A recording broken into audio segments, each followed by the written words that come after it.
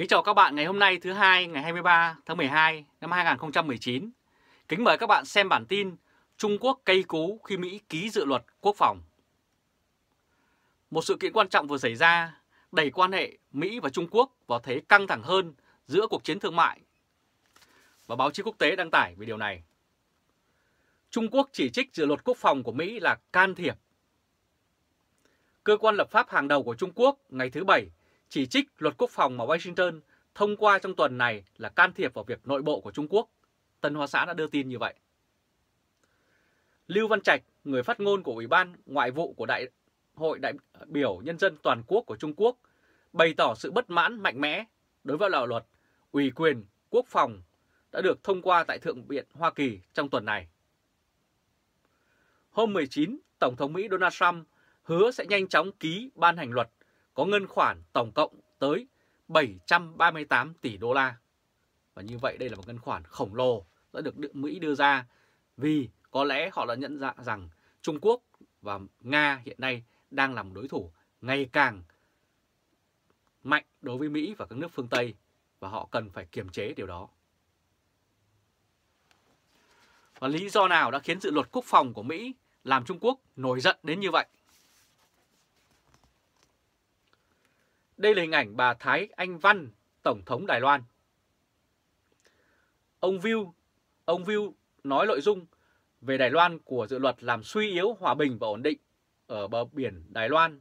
Theo dự luật, Mỹ sẽ nỗ lực hỗ trợ sức mạnh quân sự của Đài Loan, hòn đảo tự trị mà Bắc Kinh xem là lãnh thổ thuộc nước Cộng hòa Nhân dân Trung Hoa và đang tìm mọi cách, kể cả bằng vũ lực, để có thể cưỡng ép Đài Loan trở về Trung Quốc.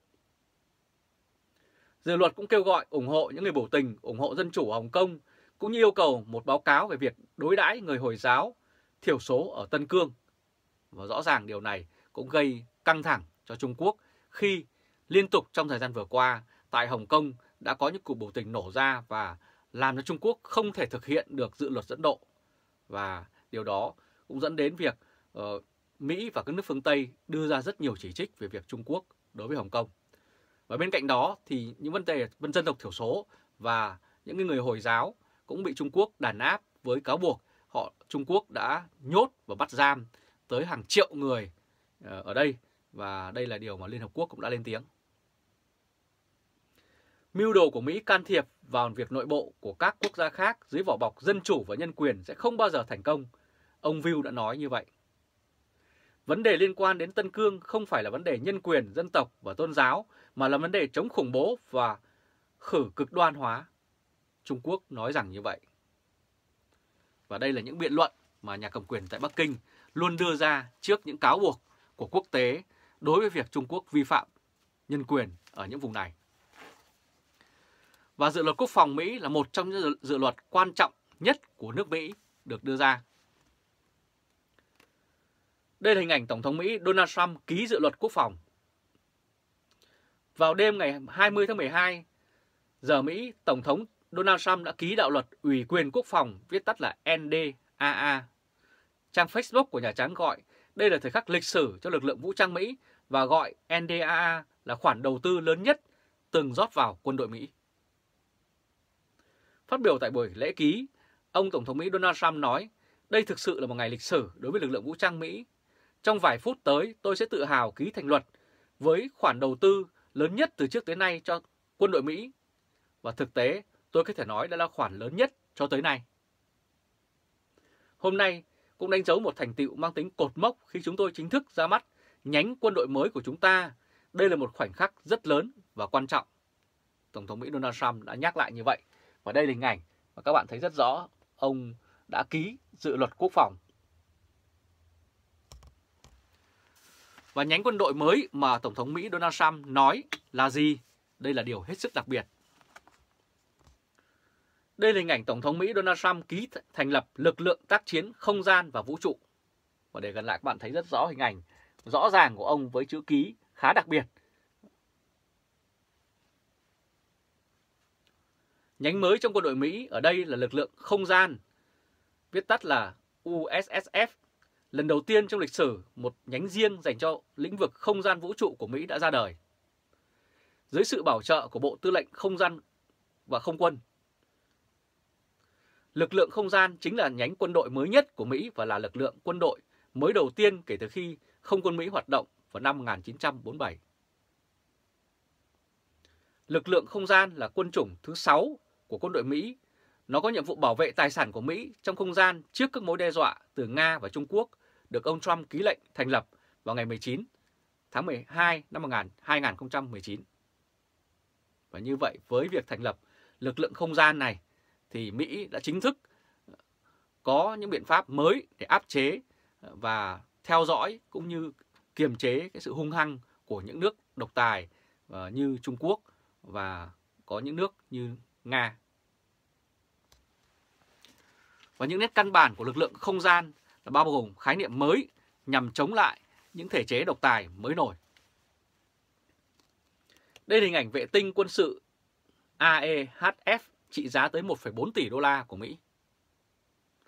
Hồi tháng 6 năm ngoái, Tổng thống Mỹ Donald Trump cho biết ông muốn tạo ra một lực lượng không gian trở thành binh chủng thứ 6 riêng biệt với Hải quân, Thủy quân lục chiến, lục quân và không quân và tuần duyên. Tổng thống Trump nhấn mạnh rằng đây là bước đi cần thiết nhằm giải quyết các vấn đề về an ninh trong không gian và khẳng định sự dẫn đầu của Mỹ trên quỹ đạo. Quyền Bộ trưởng Bộ Quốc phòng Mỹ Patrick Saran cho biết ngân sách ban đầu của lực lượng này vào khoảng 5 tỷ đô la. Và nhìn, để gần lại các bạn thấy hình ảnh rất rõ, những ờ, vệ tinh được chế tạo tại Mỹ và đây là những vệ tinh quân sự ờ, sẽ đem đến cái sự an toàn hơn cho nước Mỹ cũng như bảo vệ tốt hơn ờ, những cái nước đồng minh của họ. Lúc đó Quốc hội Mỹ, Quốc hội Mỹ dường như không đánh giá cao về ý tưởng thành lập lực lượng này. Một số nhà lập pháp và các quan chức quốc phòng cho rằng việc thành lập một lực lượng như vậy là không cần thiết và tốn kém, bởi đã có lực lượng không quân, nhưng nay Quốc hội vẫn thông qua. Và lực lượng không gian sẽ thực sự làm nhiều việc để bảo vệ nước Mỹ và thế giới khỏi những thể chế độc tài. Đây là hình ảnh Phó Tổng thống Mỹ Michael Pence trong một lần phát biểu trước đây. Lực lượng này không có ý định đưa quân đội vào quỹ đạo, nhưng sẽ bảo vệ các tài sản của Mỹ, chẳng hạn như hàng trăm vệ tinh được sử dụng để liên lạc và giám sát. Quyết định thành lập diễn ra sau khi giới lãnh đạo quân sự Hoa Kỳ thấy Trung Quốc và Nga đạt được nhiều tiến bộ trong danh giới quân sự cuối cùng này. Phó Tổng thống mike Pence trước đây đã từng nói hai quốc gia trên đã sở hữu các loại vũ khí laser trên không và hỏa tiễn chống vệ tinh mà Mỹ thì cần phải chống lại điều đó. Môi trường không gian đã thay đổi về cơ bản ở thế hệ trước, ông nói, một nơi từng là nơi môi trường hòa bình và không có tranh chấp, nhưng giờ đây đã trở nên đông đúc và thù địch. Việc thành lập lực lượng không gian là một thành tích của Tổng thống Mỹ Donald Trump ờ, được đánh giá trong thời gian vừa qua.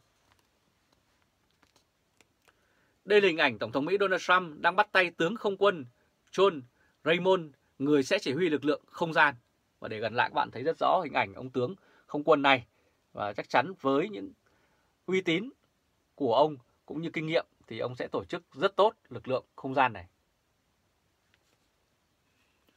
Lực lượng không gian sẽ được xây dựng dựa trên cơ sở dữ liệu sở hữu hiệu của Bộ Chỉ huy Không gian Hoa Kỳ, được thành lập vào tháng 8 năm 2019 để xử lý các hoạt động không gian của quân đội Hoa Kỳ. Bộ trưởng Không quân Barrett đã nói lực lượng không gian sẽ bao gồm khoảng 16.000 nhân viên không quân và dân sự. Lực lượng mới sẽ được tướng không quân John Raymond, người hiện đang là điều hành Spacecom chỉ huy. Đầu tháng 12 năm 2019, Tổng thống Nga Vladimir Putin cho rằng việc Mỹ mở rộng không gian đã gây ra mối đe dọa đối với lợi ích của Nga và đòi hỏi phải có đáp ứng và đối lại từ nước Nga. Và điều này sẽ dẫn đến một cuộc chạy đua vũ trang mới ở trong vũ trụ mà ông Tổng thống Mỹ Donald Trump sẵn sàng ờ, cùng với cả những nước đồng minh của mình để thực hiện điều để đảm bảo an ninh đối với các nước. Và dự luật quốc phòng của Mỹ còn đem đến những ý nghĩa rộng lớn hơn. Tổng thống Mỹ Donald Trump ký dự luật quốc phòng ngay tại căn cứ quân sự Andrei Để gần lại, các bạn thấy rất rõ hình ảnh một chiếc bàn của Tổng thống đặt trong khu căn cứ rất đơn giản này. Và tại đây, ông đã ký dự luật quốc phòng. Trung Quốc được đề cập hơn 200 lần trong báo cáo tại hội nghị. phiên thảo luận chung giữa Hạ viện và Thượng viện để thống nhất phiên bản cuối cùng của dự luật. Đạo luật này bao gồm các hàng loạt một các điều khoản nhằm giải quyết các mối đe dọa từ Bắc Kinh, có cả yêu cầu báo cáo về tham vọng của nước ngoài của Trung Quốc ở nước ngoài của Trung Quốc và mối quan hệ quân sự với Nga. Cũng có những điều khoản cấm sử dụng tiền liên bang vào việc mua đầu máy xe lửa hoặc xe bút của các công ty thuộc sở hữu của Trung Quốc hoặc có trụ sở tại Trung Quốc. Hai công ty gồm nhà sản xuất xe lửa của nhà nước Trung Quốc và nhà sản xuất xe buýt điện pin Trung Quốc BID có thể sẽ bị ảnh hưởng bởi động thái này. Và như vậy rõ ràng, với những công ty của Trung Quốc thì phía Mỹ đã rất dè dặt và đề phòng. Nhưng điều này ờ, không được ờ, các nhà cầm quyền tại Hà Nội coi trọng. Chính vì vậy Trung Quốc đã bán được rất nhiều những thiết bị, những công nghệ cũ và Việt Nam không thể sử dụng được hoặc nếu có đưa vào thì chi phí vận hành cũng rất cao và không thể cạnh tranh. Và trước sự hung hăng của Trung Quốc trên Biển Đông, nước Mỹ lại một lần nữa thể hiện vai trò quan trọng là duy trì trật tự, bảo vệ nền dân chủ và tự do trên thế giới, chống lại những thể chế độc tài như Đảng Cộng sản Trung Quốc và đường lối xã hội chủ nghĩa đang cướp đi nhân quyền của trên 1,4 tỷ người dân nơi đây. Và có lẽ trận chiến cuối cùng này của thế giới tự do đang loại bỏ nốt dần tàn dư của chủ nghĩa cộng sản còn lưu lại tại Trung Quốc và sau đó sẽ đến lượt Việt Nam. Rất cảm ơn các bạn đã chú ý theo dõi chương trình truyền hình trực tiếp của Lê Trung Khoa Thời báo.de ngày hôm nay, thứ hai ngày 23 tháng 12 năm 2019. Các bạn hãy chia sẻ video và để lại bình luận cũng như bấm nút theo dõi YouTube và Facebook của Thời báo.de để cập nhật những thông tin mới nhất, nhanh nhất và trung thực nhất. Chào các bạn, hẹn gặp lại các bạn vào bản tin lần tới. Trung Khoa từ Berlin, Cộng hòa Liên bang Đức.